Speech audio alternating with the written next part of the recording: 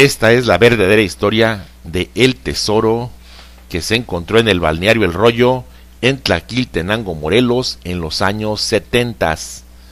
Don Hernán Cortés, en el año de 1530, manda construir una peculiar torre de vigilancia en la ribera del río Yautepec, en el pueblo de Tlaquiltenango, en estado de Morelos.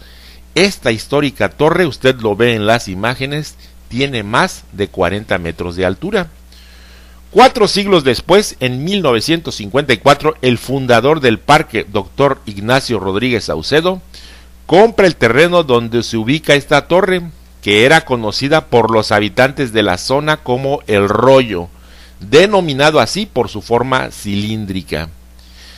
Esto apareció en el periódico La Vanguardia de Coahuila en 2010. Y esto es muy interesante y dice lo siguiente, Manuel Cepeda Medrano obtuvo el grado de general supremo y ocupó en la etapa revolucionaria y postrevolucionaria diversos cargos oficiales. Manuel Cepeda estuvo en la batalla de Rellano y fue un hombre muy cercano a el presidente Venustiano Carranza. Después se trasladó a Jojutla, donde radicaba Rodolfo, uno de sus hijos. Y este señor Manuel Cepeda contaba recurrentemente la existencia de un tesoro que los zapatistas escondieron en la región sur del estado de Morelos. Se rumora que este tesoro se localizó en el balneario El Rollo de Tlaquiltenango, Morelos, y que el ganón fue Luis Echeverría Álvarez. Así termina la nota. Tal vez para los que viven cerca de esta área sea una historia ya conocida. Esto que voy a relatar sucedió entre 1972 y 1974, cuando era presidente de México Luis Echeverría Álvarez y gobernador del estado de Morelos Felipe Rivera Crespo. Esta historia inicia así.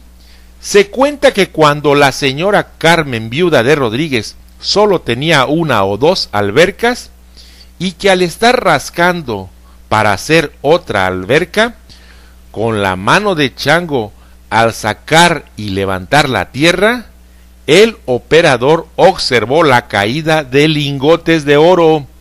Se dice que en total sacaron cuatro barriles llenos de oro, si no es que más, y al señor de la máquina no le tocó nada, y todo por avisarle a la señora Carmen Viuda de Rodríguez, la cual inmediatamente despidió y liquidó a todos los trabajadores que construían esa alberca. Vecinos del balneario como la familia Mazzoletti, al saber esa noticia del tesoro encontrado en el rollo, procedieron a excavar en su propiedad y lograron encontrar monedas antiguas de plata y piezas arqueológicas.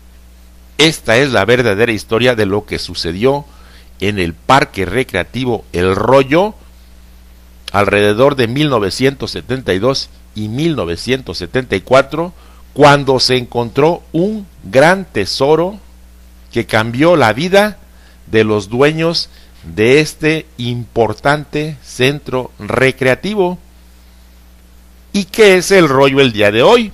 Después de más de 60 años de intenso trabajo, el rollo es considerado como el parque de diversiones acuáticas más importante en América Latina y todo debido a cuatro barriles llenos de oro que se encontró en el interior de este parque recreativo. Gracias.